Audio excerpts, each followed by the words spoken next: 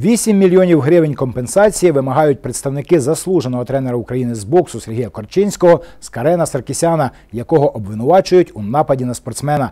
18 серпня поточного року Ленінський районний суд Миколаєва розпочав розгляд справи.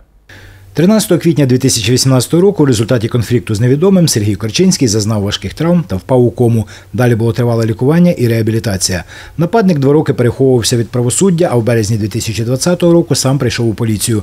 18 серпня відбулось перше засідання у цій справі. Представники позивача вимагають значної матеріальної та моральної компенсації. Стягнути з е, відповідача Саркісяна на користь Карчинського майнову шкоду в розмірі 7 мільйонів 94 тисяч 164 гривень 19 копійок, Е, моральну шкоду в сумі 1 мільйона гривень, всього е, суму 8 мільйонів е, 94 тисячі 164 гривень 19 копійок. Втім, обвинувачений своєї провини поки що не визнає, як і мільйонних відшкодувань за цивільним позовом.